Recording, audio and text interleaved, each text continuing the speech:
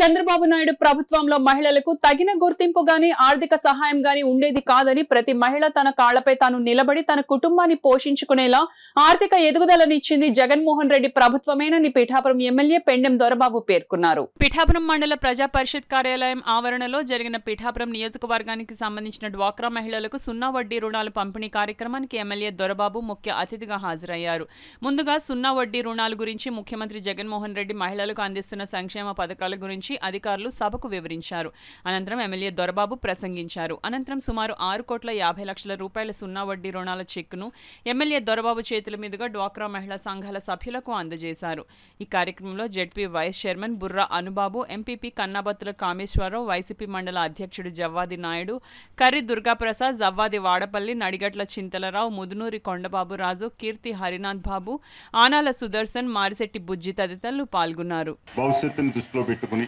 మీ యొక్క కుటుంబాన్ని ముందుకు తీసుకెళ్ళే విధంగా గతంలో తెలుగుదేశం నాయకుడు చంద్రబాబు నాయుడు గారు డాక్టర్ అక్క చెల్లెమ్మలందరినీ కూడా వారి చేత పని చేయించుకోవడమే తప్పించి ఎప్పుడూ కూడా వారి గురించి ఆలోచన చేయకుండా వారికి మంచి భవిష్యత్తు ఇవ్వకుండా వారిని తెలుగుదేశం పార్టీకి ఏ రకంగా ఉపయోగించుకుని ఎప్పుడూ కూడా వారి యొక్క భవిష్యత్తు మీద దృష్టి పెట్టకుండా వారికి జీతాలు కూడా ఇవ్వని పరిస్థితి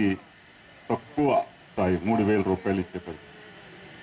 అదే జగన్మోహన్ రెడ్డి గారు వచ్చిన తర్వాత ఇందాక వెంకటేష్ చెప్పినట్టుగా చంద్రబాబు నాయుడులా కాకుండా ఎలక్షన్ ముందు పసుపు కుంకుమ పథకం పెట్టినట్టు కాకుండా ఈయన అధికారంలోకి వచ్చిన వెంటనే మీకు మా ఇచ్చిన మాటను నిలబెట్టినటువంటి ముఖ్యమంత్రిగా జగన్మోహన్ రెడ్డి